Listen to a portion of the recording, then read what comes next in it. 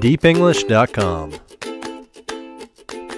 Professional musician Robin Spielberg says music saved her daughter's life.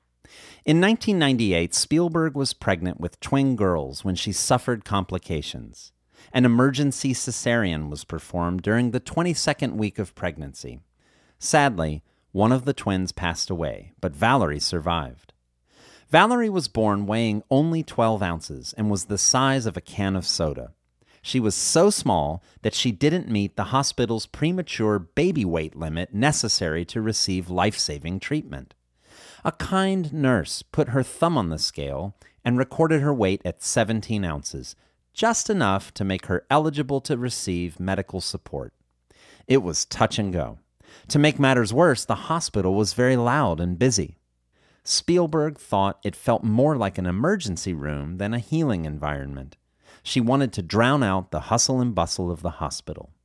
She couldn't bring her piano, so she played CDs for her daughter. Amazingly, Valerie improved. Her oxygen saturation levels increased, her blood pressure stabilized, and her heart's rhythm became more steady. This wasn't a fluke. It happened again and again for four months and it affected all of the other babies in the room as well. Valerie's health continued to improve after months of music and medical attention. People have been using music and rhythm to heal since ancient times. It is finally starting to catch on in modern society.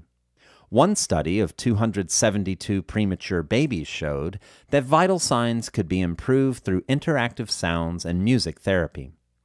Music isn't only beneficial for babies, Studies show that music is able to ease pain, enhance blood vessel function, reduce stress and depression, and boost the immune system in adults too.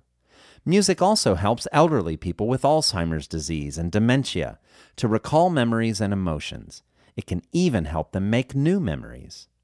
Having seen the amazing impact music had on her baby, Spielberg began working alongside music therapists. She also volunteered in nursing homes, where she once inspired a mute man to speak with music.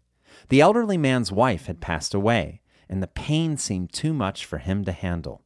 He had withdrawn from the world and hadn't spoken in six months.